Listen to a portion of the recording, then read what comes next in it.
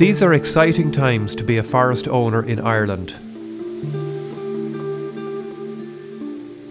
As our farm forest resource expands and develops, sustainable management of your timber crop will pay dividends, allowing you to optimise your forest's potential from an economic, environmental, and social perspective.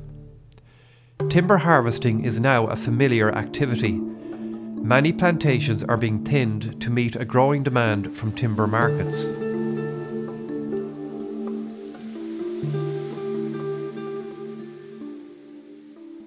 As conifer forests rapidly grow, branches from adjoining trees grow towards each other and meet, thereby impeding access through the forest.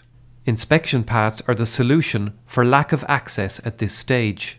Once your plantation has closed in, normally when it is between 10 to 14 years of age, adjoining branches form a strong barrier to gain access into conifer crops such as spruce. An accurate forest assessment cannot be made from the outside. You can see, Jody, here that this crop has closed in. Access has become very difficult. That is why we need to install inspection paths in order to be able to assess and manage this crop. Once inspection paths are in place, Jody can easily get through his forest, allowing him to assess his timber crop and plan for its future management. Now that we have this inspection path cut, Jody, we will be able to assess the quality and the progress of this crop. It will en enable us to assess the suitability for thinning, the predicted age of first thinning, and we can measure the crop in terms of its future yield. Installing inspection paths enable you and your forestry professional to monitor the progress of your forest. 14. Inside the forest, Jody and Teagasc advisor Tom Houlihan are assessing the forest and measuring sample trees along the inspection path. This will give a good indication of tree stocking levels, tree size, and timber volume. Jody can now make informed decisions on forest thinning and plan for future harvesting. Inspection paths also facilitate planning of forest roads where required and provide access for timber buyers to view your forest. Cutting inspection paths does not require the felling of any trees. Just remove the lower side branches up to head height between two adjacent lines of trees, following the direction of cultivation where possible. The handheld pruning saw is very sharp and cuts on the pulling stroke, giving you the clean cut required.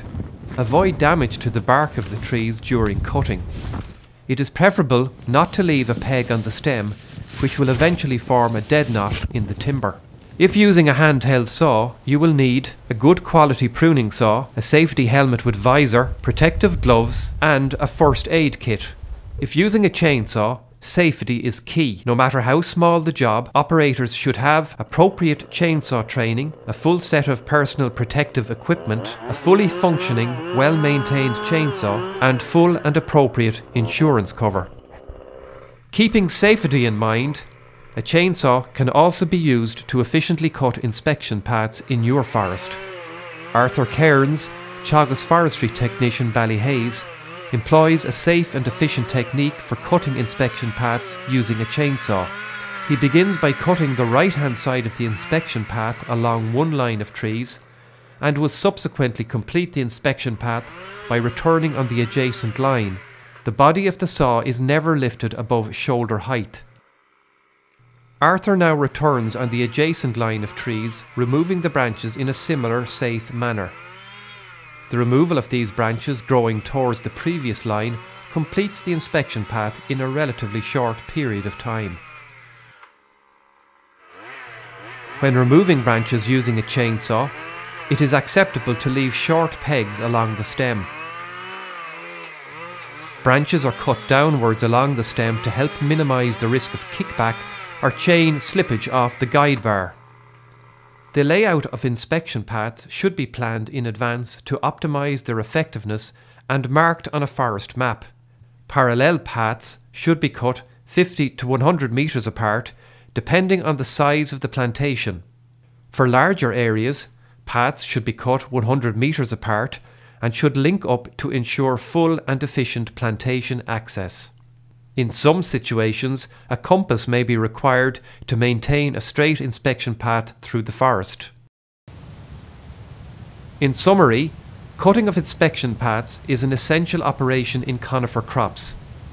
Once completed, inspection paths provide clear and easy access into and through the forest so that growth can be monitored, the timber crop assessed, and provision made for timber harvesting and marketing. Now that inspection paths are in place, informed decisions can be made on future management of the forest. This puts you in a strong position to sustainably manage and optimise this valuable resource.